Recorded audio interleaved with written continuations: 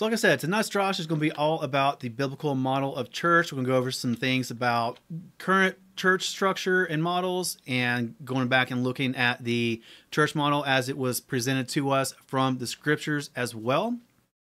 If you would like to see the notes that we have taken, you can go to godhonesttruth.com, click on that post for a biblical model of church, or you can go right down below and click on the direct link to the post itself and that doesn't matter if you're watching on video or even if you're watching through one of the audio podcast platforms. It should be right down there in the description below. There on that post at godhonesttruth.com, you'll be able to find the on demand video starting tomorrow morning, Saturday morning. You'll also be able to find these Drosh slides as well. And with tonight's posting and tonight's Drosh, you'll also be able to find the notes that we took for the study on this subject. So make sure to go check that out. It's at godhonesttruth.com or in the link down below in the description. So, with that being said, let's go ahead and get started.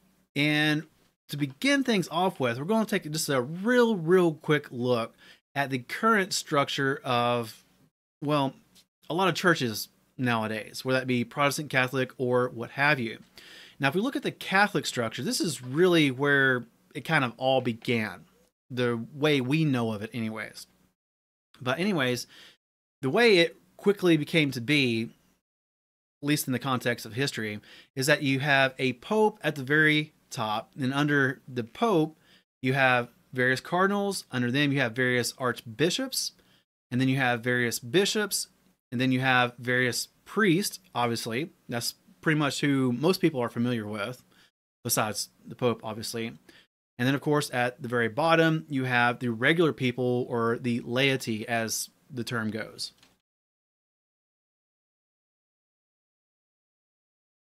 Now, with Protestant churches, it can somewhat be very, very similar. I looked up a what could be called a megachurch here locally. I'm not going to say their name because I'm not intending to pick on them. This is just an example of what a lot of large churches have in ways of leadership.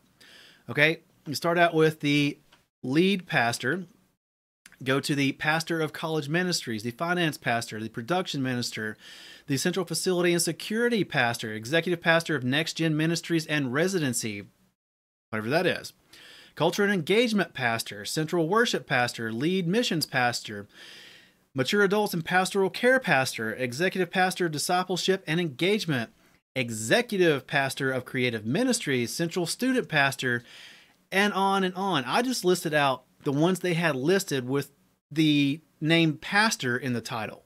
There's lots more that was on that page as far as their staff goes. But this is wow. Yeah, but just keep all this in mind from the church, I mean, the Catholic model to like a large Protestant church model.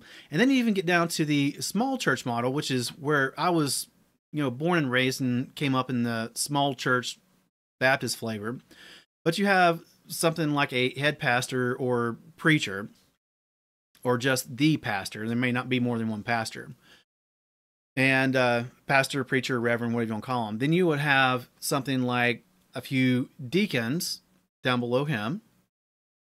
Then also you would have sometimes the choir leader or worship leader. And then you would also have your Sunday school teachers as well. That's for small churches, okay? Now, after all these that we went over, the Catholic model, the large church Protestant model, and small church model, keep all this in mind as we go through scriptures on the church model and see what it is that lines up with Scripture and what doesn't line up with Scripture. Now, when you talk about church models and the way church hierarchy is structured, a lot of people will automatically appeal to Moses and say that they're following the Moses model. So, let's take a look at that real quick and see what the Moses model was and what they're referring to. As we all know, Moses or Moshe led the people of Israel and the mixed multitude, don't forget that, out of uh, Egypt through the wilderness and Moses made it all the way up to the borders of the promised land, but didn't get to go in. But, anyways, he led them out of Egypt and through the wilderness. And while he was doing that, there came a point where he had to set up some kind of structure, leadership structure, right? And this is what they're talking about when they talk about the Moses model. Look at 8, I'm sorry, Exodus 18, 13 through 26. And it came to be on the next day that Moshe sat to rightly rule the people, and the people stood before Moshe from morning until evening. And when the father in law of Moshe saw all that he did for the people, he said, What is this that you are doing for the people? Why do you sit by yourself, and all the people stand before you from morning until evening? What you are doing is not good. Both you and these people with you shall certainly wear yourselves out, for the matter is too heavy for you. You are not able to do it by yourself. Seek out from all the people able men who fear Elohim, men of truth, hating unfair gain, and place these over them to be rulers of thousands, rulers of hundreds, rulers of fifties, and rulers of tens. And it shall be that they bring every great matter to you, but they themselves rightly rule every small matter. So make it lighter for yourself, for they shall bear with you. And Moshe chose able men out of all Israel and made them heads over the people, rulers of thousands, rulers of hundreds, rulers of fifties, and rulers of tens. And they rightly ruled the people at all times. The hard matters they brought to Moshe, but they rightly ruled every small matter themselves. So when these modern churches, preachers, Pope even might appeal to the Moses model, saying as the leader of their church or their congregation or what have you, they have to have people under them like Moses did to help divide up the workload, right? And this is what they're appealing to. So keep that in mind as we go forth because this is going to be it's going to be important. It's going to fit in with the way everything comes about here. Now directly after this, we are told about the coming prophet, the coming Messiah. Deuteronomy 18:15. Yahweh your Elohim shall raise up for you a prophet like me from your midst, from your brothers. Listen to him. So Moses himself says that Yahweh will raise up a prophet like him, like Moses, from amongst their brothers, or from amongst our brothers, actually. And again, Deuteronomy 18, 17 through 19. And Yahweh said to me, They have spoken what they have spoken is good. I shall raise up for them a prophet like you out of the midst of their brothers, and I shall put my words in his mouth, and he shall speak to them all that I command him. And it shall be the man who does not listen to my words, which he speaks in my name, I require it of him. And etc. etc. right? There's all sorts of prophecies about the coming Messiah and this person like Moses that Yahweh is going to raise up from amongst the people. And Yeshua fit every single prophecy from the Tanakh. That's how we know, or one of the ways we know, that Yeshua was that promised Messiah. Now, even in the Brit Hadashah, it reconfirms these things we just read in the Tanakh in Acts 7:37. This is the Moshe who said to the children of Israel, Yahweh your Elohim shall raise up for you a prophet like me from your brothers. Him you shall hear. Okay? So, Yeshua was prophesied to be a prophet like Moshe from among the people. And he was a prophet like Moshe in more ways than one. This is confirmed multiple places, but we're going to start out with John 145. Philip found Nathanael and said to him, "We have found him, Moshe, I'm sorry, we have found him whom Moshe wrote of in the Torah and the prophets, Yeshua of Nazareth, the son of Joseph." And again, John 4:19. The woman said to him, "Master, I see that you are a prophet." This is the woman at the well. Again, confirming that he is a prophet. They saw that during their time. Again, John 6 13 through 14. So they gathered them and filled twelve baskets with broken pieces of the five barley loaves, which were left over by those who had eaten. Then the men, having seen the sign that Yeshua did, said, This is truly the prophet who is coming to the world, etc., etc., etc. Over and over again, Yeshua is confirmed as a prophet, amongst other things, but he's confirmed as a prophet, and the prophet, like Moses, that was foretold. So, we've got that down pat so far. Now, let's start taking a look at the scriptural model. We've learned about the current church model, which we're all probably familiar with. We learned about what's referred to as the Moses model and that how Yeshua was the prophet that was foretold of, that was going to be a prophet like Moshe. Now, let's take a look at Hebrews 2:17. So in every way he had to be made like his brothers in order to become a compassionate and trustworthy high priest in matters related to Elohim to make atonement for the sins of the people. Yeshua our high priest. Again, Hebrews 4:14 through 15. Therefore, since we have a great high priest who has passed through the heavens, Yeshua, the son of Elohim, let us hold fast our confession. For we do not have a high priest unable to sympathize with our weaknesses, but one who was tried in all asp- in all respects as we are, apart from sin. Okay? So another aspect of Yeshua, he is now our high priest in the heavens. There's no priesthood here on earth, at least not currently. But we have a high priest in the heavens, and that is Yeshua. Yeshua, our high priest, and the promised prophet like Moshe.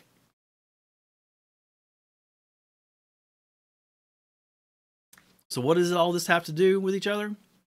Well, stay tuned. It's all going to come together and fit. Hebrews 5 4 through 10. And no one obtains this esteem for himself, but he who is called by Elohim, even as Aaron also was. So also the Messiah did not extol himself to become high priest, but it was he who said to him, You are my son, today I have brought you forth.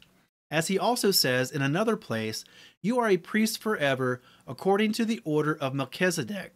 And having been perfected, he became the causer of everlasting deliverance to all those obeying him, having been designated by Elohim a high priest, according to the order of Melchizedek. So, again, just reiteration that Yeshua is our high priest. And again, I just want to reiterate this for what's coming up in here in just a minute that Yeshua is the prophet like Moses, and he is our high priest. Those are two aspects that are going to fit in here in just a moment. Let's look at another aspect real quick. 1 Timothy 2 5. For there is one Elohim and one mediator between Elohim and men, the man Messiah Yeshua. So Yeshua is now our mediator between Yahweh and man. Do you know who once filled that role? Moses. Let's look at Exodus 20, 18 through 19. And all the people saw the thunders, the lightning flashes, the voice of the shofar, and the mountain smoking. And the people saw it, and they trembled and stood at a distance, and said to Moshe, You speak with us, and we hear, but let not Elohim speak with us, lest we die. So the people were afraid of the glory and the majesty and the power and just everything that was going on of Yahweh. So they said, We don't want to deal with that. We're afraid. We'll deal with you, Moses. You go deal with Yahweh and then come back and tell us what Yahweh instructs. So Moses was the mediator. So not only is Yeshua our high priest now, and not only was, is Yeshua the prophet like Moses, but he's also the mediator like Moses as well. So that's a third aspect we're looking at right here too. Okay? Now it's all going to start coming into play. 1 Corinthians 11:3. And I wish you to know that the head of every man is the Messiah, and the head of woman is the man, and the head of Messiah is Elohim. Okay? So, we do not go through a priest now to get to Yahweh or to even to Yeshua. Okay? We go directly to Yeshua and go to Yahweh through Yeshua. He is our mediator. That's what scripture just told us. Okay? We don't have Moses to go through. We don't have a high priest in the temple. We don't even have a Catholic priest or a pastor or a preacher that we have to go through. We go directly to Yeshua because it says Yeshua is our head, our authority. Okay? Here it says that Yeshua is the head of man, right? We should know that head of every man is the Messiah. And it also says that the head of woman is the man. Check out the wordplay here in Ephesians 5:23. Because the husband is the head of the wife, as also the Messiah is head of the assembly, and he is savior of the body. See how these two verses kind of link up? Where originally what we read in the last verse is that Yeshua is the head of man and man is the head of the wife. Here we see that Messiah is the head of the assembly and also that the husband is the head of the wife. This is another wordplay that comes in when you read through scripture about Messiah being the bridegroom and we as the assembly, as the body of Yeshua, we are presented as the bride, right? So it just makes sense that Yeshua would have authority over us directly because we are his bride, just as a husband would have authority over his wife, and there's no in between, there's no intermediary. The same thing is true for Yeshua and the assembly, the bridegroom and the bride. So you've got that direct relationship there. So, what about the structure of a local congregation, local church, local assembly, whatever you want to call it. What does that kind of look at? Um, sorry, what does that kind of look like? Well, we start to see this in James 5:14. Is anyone among you sick? Let him call for the elders of the assembly and let them pray over him, having anointed him with oil in the name of the master. Now, here I want you to take real good note of what it's saying here. It says it in lots of other verses we're going to look at as well. But if you'll notice, the word elders is in the plural. It's not speaking about a one man leader at the top of the pyramid, where there's a pope, a preacher, a priest, or what have you. Here it's saying that if, in this instance, if any of you are sick, let them go to the elders okay? Congregation or a group of elders that were leading the uh, local congregation right? So we'll get into more of that in just a minute because it's now starting all to come into play. But what about the qualifications for an elder? Well in 1 timothy 3 2 through 5 it states an overseer sometimes translated as bishop or elder then should be blameless, the husband of one wife, sober, sensible, orderly, kind to strangers, able to teach, not given to wine, no brawler, but gentle, not quarrelsome, no lover of silver, one who rules his own house well, having his children in subjection with all reverence. For if a man does not know how to rule his own house, how shall he look after the assembly of Elohim? Now, again, it says, an overseer, not the overseer, right? But also notice that this elder or someone who wishes to be one of the elders should have all these qualifications, right? He should be sober, not given to wine. He shouldn't be stirring up trouble, not being a brawler. Should be gentle, should be able to teach. And this is kind of where the notion of elder comes in someone who is mature, especially in the word. Not necessarily in physical age, but definitely mature in the word. Knowing the scriptures, knowing some history, knowing how to accurately apply that through wisdom to guide and to teach. And one of the qualifications here is able to teach. Some people aren't given the gift of teaching, and that's fine. We're all given different gifts. Some people are. And this is one of the th- qualifications of a elder. Now, Yep. Also, not greedy. That's another important thing. I mean, how many uh, televangelists do you see uh, constantly asking for money, right? And you see them living big, lavish lifestyles, driving big, lavish cars, fancy clothes, all kinds of stuff. And most of their congregation is not anywhere close to that, nor the people they're helping. Okay. Scripture says that anyone who is an elder, overseer, bishop, however you want to translate it, that they should not be greedy of gain, right? No lover of silver. And someone who's not quarrelsome as well, and who's not going around arguing with people. But definitely keep in mind those who are able to teach. I would add willing and able to teach, but I don't want to add to scripture. So these are the qualifications of a elder or bishop or overseer. There's also a second group of people that scripture talks about as well. These are called deacons, what most people refer to as deacons. 1 Timothy 3 8 through 10.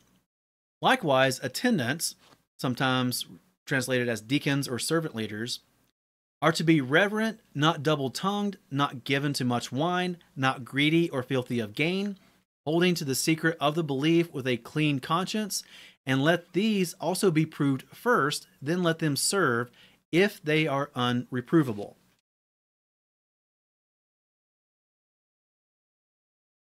Now, one thing that stands out right here, maybe it's just for me, but maybe one thing you noticed as well is that the ability to teach was not in the list of qualifications here for deacons. Okay, that falls on the group of elders. But deacons are a role and a position uh, within the church structure, within the church model. Interestingly enough, this word deacon here, which is Strong's G1249, is translated in other ways as well. It's also translated as minister or servant, which kind of gives you an idea of one of the main roles of both deacons and elders. Okay? Is they are there to serve, not lord over, not rule, but to serve. And this goes right along with the teachings of Yeshua. We'll be getting into some of those in just a minute too. But this thought was interesting that deacon is translated only I'm sorry, the word is only translated as deacon three times in the King James, but as servant eight times. And then minister 20 times. So going on to Acts 20 28, it says, Therefore, take heed to yourselves and to all the flock among which the set apart Spirit has made you overseers to shepherd the assembly of Elohim, which he has purchased with his own blood.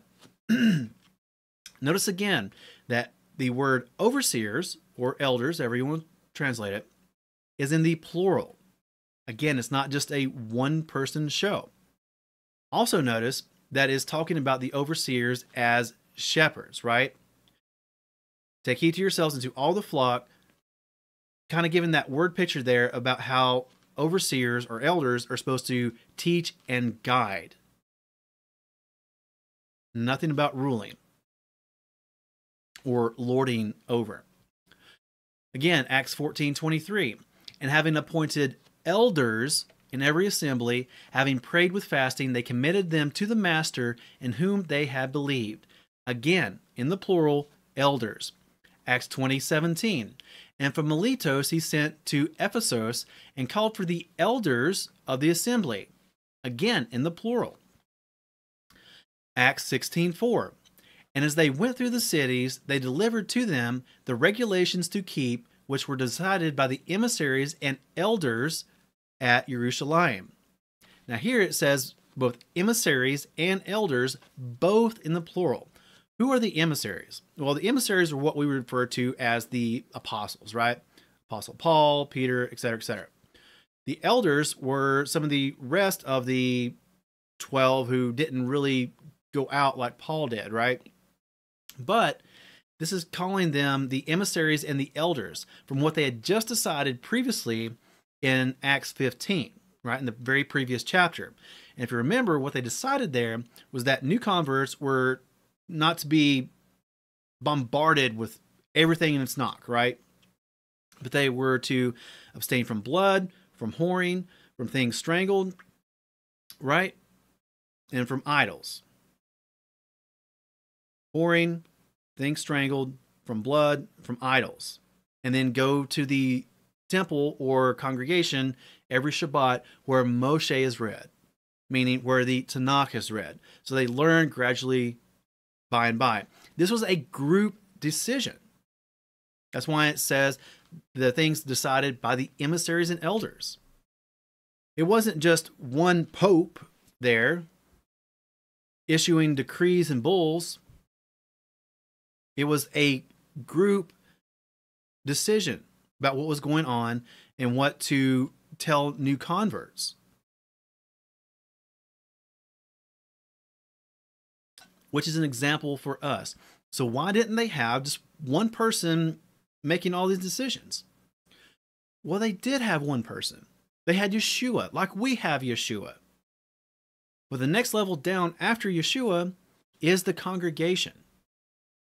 Not a pope, not a pastor, not a preacher, the congregation.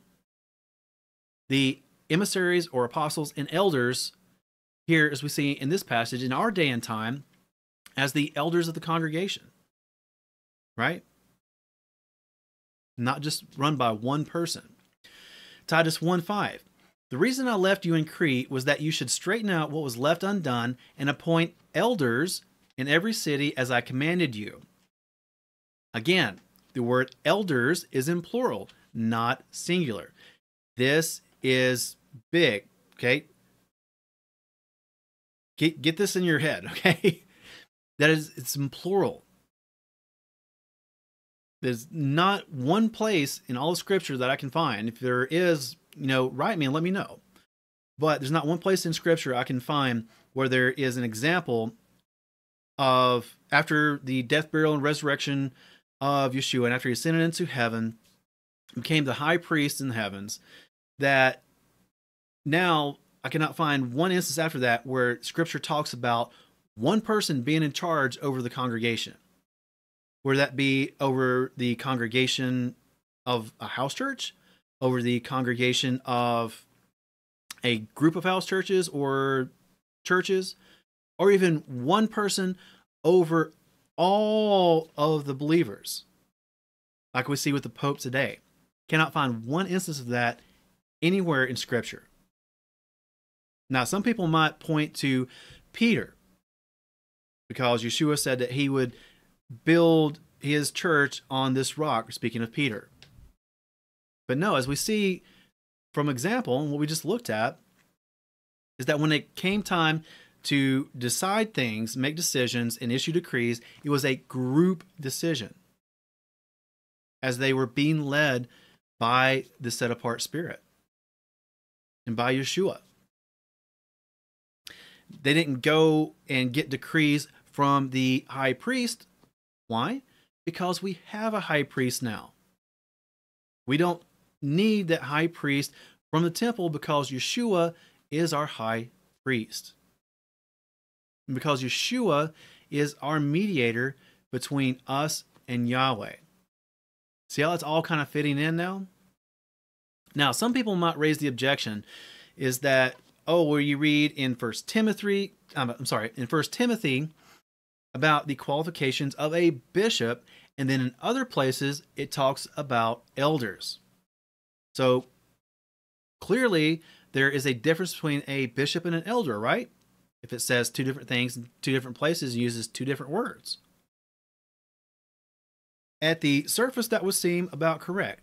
Now, for instance, we look at 1 Timothy 3 2, which we've already read, but again, an overseer or bishop then should be blameless, the husband of one wife, sober, sensible, orderly, kind to strangers, able to teach. Then in verses like Acts 20 17, we see, and from Miletus he sent to Ephesus and called for the elders of the assembly. So here we have two different words in English, both overseer or bishop and elders. Two different words. We look in the Greek, there are two different words here. For 1 Timothy 3 2, the word is Strong's G1985, which is episkopos. And then for Acts 2017, we have G4245, and that's presbyteros. Two different English words, two different Greek words. So these are two different words, two different offices, right? Well, let's look at the definition real quick because as everyone who watches this knows, I'm one of those geeks who likes this kind of stuff. So I know others out there who like this kind of stuff too. Now, if you can't see everything here, well, you can go to GodHonestTruth.com, view the Drosh slides yourself, or view the notes we took because this is all in those notes also. But yeah, the um, episkopos or bishop, as we first saw, is according to Strong's a Christian officer, or Greek, Greek English lexicon calls it one who serves as a leader in a church. Thayer's Greek uh, lexicon pretty much says the same thing: an overseer, someone charged with the duty of running things at church, etc., etc. Then we get to that other word, elder, or Strong's G4245, presbyteros. That means, okay, someone who is older, an elder, and especially someone who's mature in the word. Okay, that's the main takeaway. So, is that two different things? Here's the Strong's definition in the Greek English lexicon for G4245. And here's the Thayer's Greek lexicon for that same word.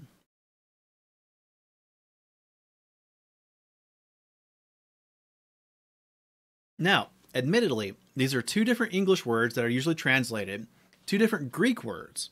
So that means they're different offices and positions, right? No. In scripture, these are actually used interchangeably as the same thing. Okay? And a great way to see that is in Titus chapter 1 verses 5 through 9, a letter by Paul.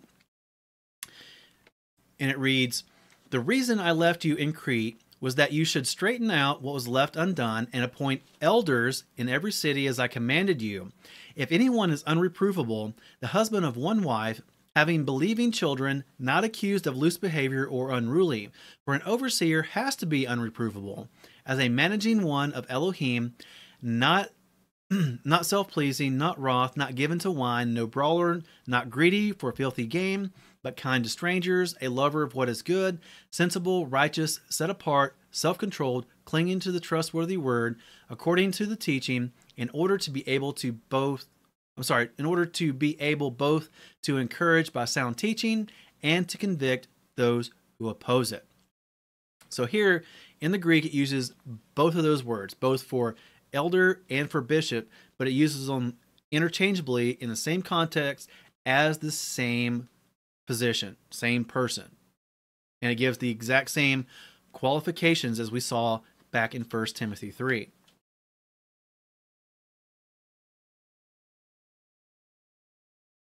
Now, we've already seen that the structure looks like like this, like it goes Yahweh, and then below him Yeshua, then below him is the body, the assembly, the group of believers, us, right? This is actually something that goes on even in the end times as we read in Revelations. Now, this is just a few select verses. There's many, many in Revelation actually that would illustrate this point, but here's just a few. Revelation chapter 5 verse 6. And I looked and saw in the midst of the throne and of the four living creatures and in the midst of the elders a lamb standing as having been slain having seven horns and seven eyes which are the seven spirits of Elohim sent out into all the earth. Verse 8. And when he took the scroll, the four living creatures and the twenty four elders fell down before the Lamb, each holding a harp and golden bowls filled with incense, which are the prayers of the set apart ones. Verse 14. And the four living creatures said, Amen. And the twenty four elders fell down and bowed before him who lives forever and ever. Notice it doesn't say, and the Pope, or and the preacher, or and the televangelist, right? It says the group of elders. a equal footing group of people. Even in Revelation, even in end times, it still has that same model and picture for us. Again, in Revelation 11 16. And the 24 elders sitting before Elohim on their thrones fell on their faces and worshiped Elohim. Again, the congregation of elders, not a pope, not a preacher, not a single man from a congregation. Revelation 19:4. And the 24 elders and the four living creatures fell down and worshiped Elohim who sat on the throne saying, Amen, hallelujah. Again, group of elders, all equal position on the level with each other that are right under Yeshua and Yahweh. Amazing stuff, right? Think back to what we looked at at the beginning of how our modern church structure is and the example that we have seen from Scripture. And think to yourself, how does all that compare? Now, some people might say, you know, we go by the Moses model. Okay. Well, you should go by the Moses model. But the person in the position of Moses is now Yeshua. He is the prophet like Moses. He is our high priest, so we don't need to go through a high priest. And he's also the mediator between Yahweh and man, like Moses once was. So the person in that position that Moses had is now Yeshua. Not a preacher, not a pope. That's the Moses model. And then below Yeshua, you have a congregation over here who is operated and uh, run by a group of elders. Then you have another congregation over here who is operated and run by a group of elders. And each of those groups of elders are all equal. Now, just so it's out there and said, the elders and the deacons and the laity, for a lack of a better term, is they're all equal, anyways. Because even the laity, their head is not the elders, their head is Yeshua. So, what's the purpose of the elders then? The elders and the deacons, but especially the elders, are there to oversee the functions and the running of the local congregation, the turning the lights on, making sure everything's mowed, bills are paid, stuff like that. They're not there to lord over and rule the laity. They're there to serve and teach and guide because they're supposed to be the ones most mature in the word, right? And the most wise. So they're there to teach and to guide and to shepherd and to serve, but they're not there to lord over and rule over. This can also go into kind of cut it down, didn't go into some other areas, but some other areas that we could have went into is the role of uh, other positions. There's in the early church there was actually a position for widow which is very interesting. We could have went into that, but trying to cut it down here, it's already kind of long. But there's also a role for women as well. We didn't get into that. That's a probably a teaching all in all its own. So it's not just deacons and elders. They are the main ones. There's also other positions as well. But this is just to illustrate the church model and how the example we get from scripture is not the pyramid scheme we have today where one person is on top ruling over and deciding everything. That's not the scriptural model. And back in the early church, some other interesting things we see here as well. This is just kind of a tangent, but thought it might be interesting for some of you out there. We see in Colossians 4:15, "Greet the brothers in Laodicea and Nympha and the assembly that is in his house." Acts 20:20, 20, "As I kept back no matter that was profitable, but proclaimed it to you and taught you publicly and from house to house." Acts 2:46, and day by day continuing with one mind in the set apart place and breaking bread from house to house They ate their food with gladness and simplicity of heart. So, we can see here what was going on during this time was that a big thing was house churches. Okay? Now, is that required? No, I don't think so. If we look at back at Acts 2020, no, I'm sorry. Well, we'll look at this real quick. Where he's talking about how he taught them both publicly and house to house. Okay? So it was in the house church that he was teaching, but it was also publicly. That could have been in the town square, but it could have also been at the temple as a corporate structure, right? We see in Acts 2:46, oh, where was it? Oh, hang on. I've lost it now. Yep, Acts 2:46. Where it's telling them uh, where it's relating that they were in the set apart place as well. It says they were continuing with one mind in the set apart place. What is the set apart place? The temple. Because the temple was still standing in their time. So not only were they going into house churches, but they also went to the temple. So don't be afraid to go to a house church and don't be afraid to start a house church either. There's a lot of ins and outs with that space, location, etc., etc. But this is the way they did it back then for a variety of reasons. Number one, the how should I put this? The newly formed religion of Judaism had control of the temple. Okay. So that was kind of difficult for them to go and hold services like we would in like a megachurch today. So they kind of had to meet in houses because that was the locations they had. Later on in history, they were persecuted by the empire and others. So they kind of had to hide their services in their houses and not in public gatherings. Sort of like the Christians do today in places like North Korea and China. They've got to kind of keep it hush hush as much as possible. Then after Constantine, that's when we really start seeing the big churches and public gatherings and the rise of the Catholic Church come up. Does that mean that public gatherings and church buildings like that are bad? No. I wouldn't say that. If you want to get, you know, several dozen people together in one building, go for it. Uh, I'm not personally a fan of the megachurch.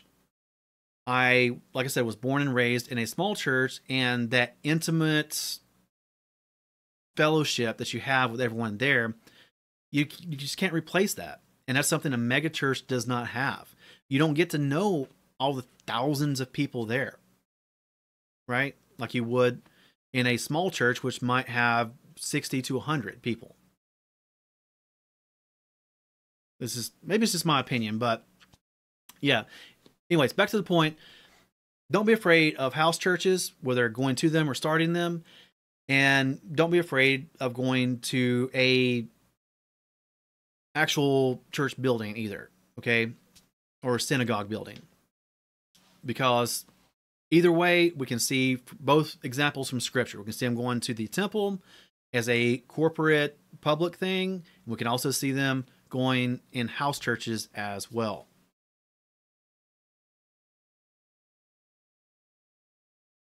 So, in a nutshell, about the church model, we looked at the Catholic model where it's got, as they would say, God at the top, and then Jesus, and then you have the Pope, who is right under that. Then you have the cardinals, archbishops, bishops, priests, and laity, right? We still have that pyramid structure where the Pope is at the very top. He's the one man leading it.